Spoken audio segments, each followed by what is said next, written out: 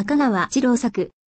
今回の作品は、ライトノベル化したこのシリーズにしては人物構成が複雑で、読み始めは人物をうまく整理できませんでした。そもそも小説は作者によって描き方の哲学が違い、人物像をきちんと書き込む人もいるのですが、この作者はほとんどせず、名字だけ出てくるので、戸惑うわけです。